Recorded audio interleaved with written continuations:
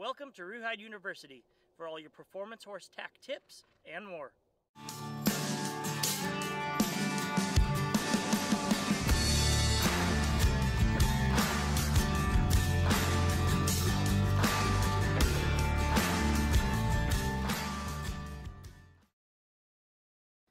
Hey guys, Brian and John here with Roo-hide Saddlery, and today's Roo-hide University video, we're going to be talking about the DP tie down. So the DP sliding tie down is a wire setup. We've got twisted wire here over the pole and twisted wire across the uh, noseband. So a traditional leather or noseband tie down becomes a balance point for the horse to lean into, okay? So yes, it can get headset and it can help the horse balance and lean into it. The issue with that is we're loading more weight over that front end. That horse is pushing and now using that as a balance point, almost where if you and cut that tie down, that horse would want to fall forward on its face. So in a performance horse, we're constantly trying to get them to lighten their front end and drive and engage from behind. So with a setup like this, we're not making them become reliant on a tool like a regular tie down where they're going to constantly hunt for it and lean into it. I want them to get that muscle memory and learn how to frame up and stay inside of this, not comfortably lean into it. So that being said, a horse needs to understand how to give to that pressure. I want to give them the best opportunity or chance to do that. So before just cinching him up tight, I'm going to pull down on it and let him start to feel where that pressure is going to come from up here and across the nose. And when he gives, I'm going to give. And I want him to start to feel that. I can walk him off, do it in a couple other spots. And then I'm going to cinch it up right to his D-ring here um, at the cinch and start pretty conservative, okay? And progressively tighten up to find where's that point where this horse is driving up and engaging in his hind end and still in a balanced position. We don't want to tie their head through their legs. They still got to be able to get their nose out there and hunt that cow or come across that barrel, whatever it is they're doing, they still have to have that nose out there. We'll give you guys a better visual once we get out to the arena. All right, guys. So now I'm in the round pen with my DP tie down. I've got my little Diva Queen here. Um, this mare's full of attitude. She thinks her life's a lot rougher than it really is. She's just got her ears pinned back about life. Even in the pasture, she's can be a little bit of an ornery one. So um, with, with mares like this or horses like this in general, having a training it or a tie down setup like this, not only do I like what it does to them physically, for horses that have a lot of fight, the only way for them to get away from the pressure is to finally mentally give in. So once they get to that point where it's and they've gotten there, that pressure goes away and a lot starts to happen right here between the ears. In order for them to physically soften and give, she has to mentally soften and give. So I want this to be a positive experience for her though. And I'm not just gonna go crank it up tight on her like I talked about earlier.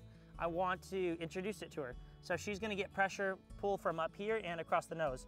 So I wanna introduce it to her. Well, she's actually being pretty dang smart about it already. I don't mind that she backs up off of it she's feeling where that pressure is going to come from. I can walk her off somewhere again. I'm drawing it towards that chest like she's going to feel. Good. When she gives, I'm going to give. So now for setup. This snap is going to run down here to this uh, little D-ring on my cinch. We make this strap long enough so we can use it on some bigger horses, like bigger barrel horses, rope horses. Um, so right now this one is set up a little bit big. But like I spoke about when we were in the barn, we're gonna start conservative. We actually wanna let them be able to get their head out there and find, they'll feel it, they'll hit it, and they're gonna start to learn to frame up and stay inside of it without maybe as big of a, a blow up or an issue. So she's gonna be able to still get her nose about to right there. There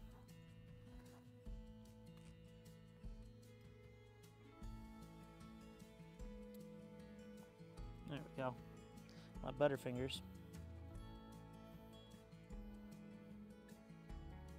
Okay, so my job while working with this horse is I have to be the driver. Sometimes when a horse isn't, doesn't know how to handle this kind of pressure, they feel that wall right in front of them and their instinct is gonna be to come up and over to get away from it. Your job is to keep that forward momentum and them driving into it so that they learn to come off of it Excuse me. So I'm gonna go ahead and ask her to send off here. And I'm gonna let her start at a reasonable pace here. Good, so I don't mind her just trotting off. I like that I'm seeing a little bit of droop there in that tie down rope.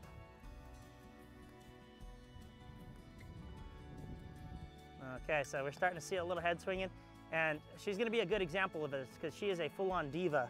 So when she feels, feels something she doesn't like, she's gonna let you know. So all I'm really doing right now is just making sure I've got enough pressure to keep her going forward, not making a bigger deal out of this than I have to, okay? I'm not even gonna pick her up to a lope yet. I will eventually get a direction change here. Step across. Good, so look at that. She wanted to kind of elevate and uh, be a brat out of that, and she was only able to get so far. So she's starting to feel it, and eventually we're gonna see that rope starting to dangle more and more. She's gonna realize it's not that comfortable to hollow out and to push heavily into that. So let's see how she's into the lope here.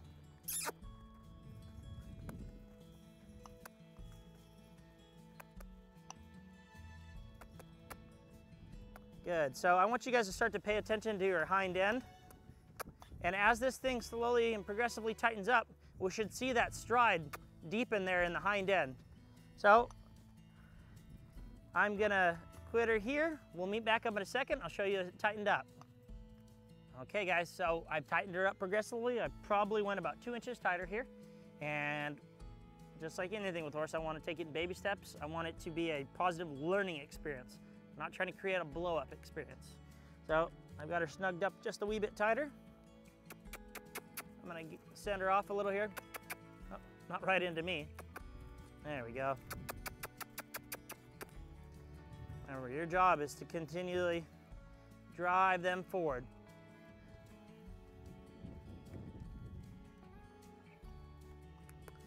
Pay attention to that hind end. Look how much deeper that footfall is going there with that hind end.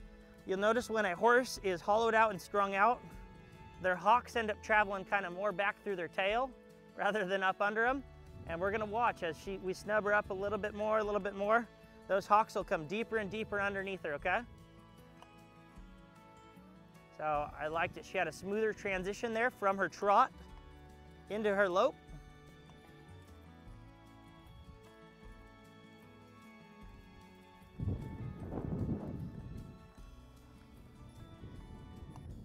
Get a direction change out of her here in a second. So she's rushing it a little bit.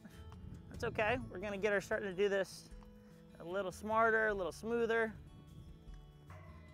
So there, now she's starting to come off of it. She was leaning into it a little. She's smart enough to know that she needs to come off of that pressure.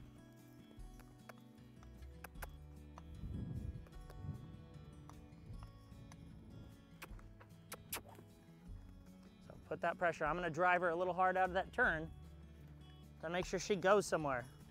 That we don't lose that forward momentum in that drive.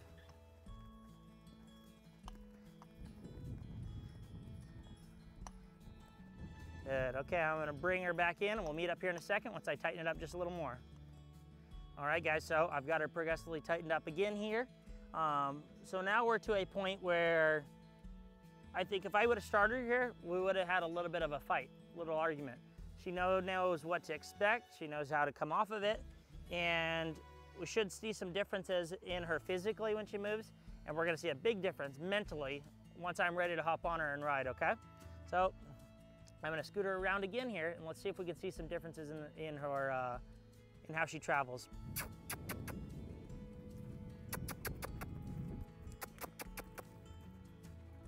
And I'm just gonna see if I can get her to work at a trot here where she's driving up. Really liking that stride.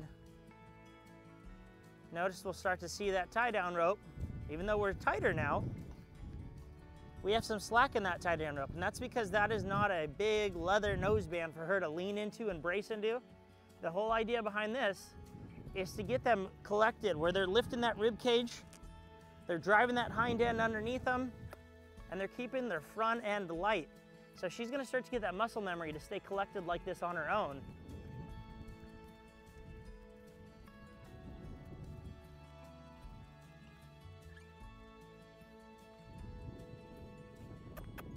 So kind of was a, she fell into that turn, a leaky turn.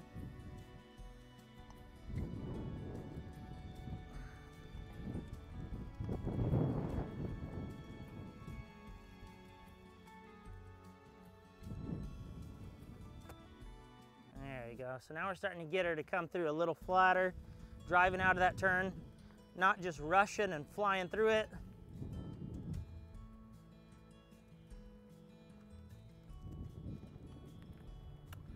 So I'm still not liking that turn to the right. So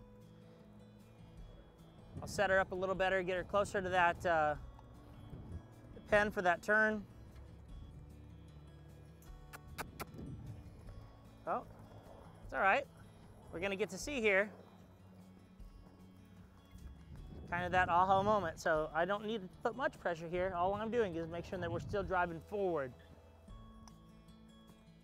I'm gonna stay quiet with my body. There we go, good. Get her right back to her trot. Get her driven up.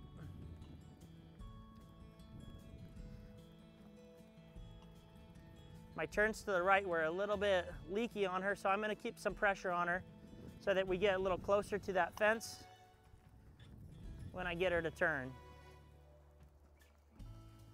So if I started taking this mare tighter than this, we're not gonna be doing much for her physically. It's gonna start to get her over bridled and we can actually start to get them where they'll get too heavy on the front end because they've got that weight falling down there with that neck getting too low, that head coming too low. And you'd be blown away with some consistent work with just this. If she's gonna be fighting you at this stage with as simple as this is, she's gonna be fighting your hands, she's gonna be fighting you from under saddle. You can get so many holes out of her from here and she doesn't really even have to associate it with you in the saddle. We get to fill a lot of these holes in. You'll love where their mind is at by time you get on them after getting to do some of this work. So this same wire tie down can be used right underneath your bridle, okay? So when I get on to ride her, I would be loosening her up just a fraction from this so I could still get her nose out there a little bit more. But because she was mentally able to give to it at this point, physically she's going to be softer Ooh. when I go to ride her. Hope this gave you guys a good little visual. Um, when, oh girl, there we go. So when uh, you're doing this at home, it probably uh, wouldn't be in your, it would probably be a good idea if you guys ran a breast collar or something to keep that um, tie down strap from getting too low or avoiding uh, a point where they could step through it. And uh, should help you guys out. Thanks for your time.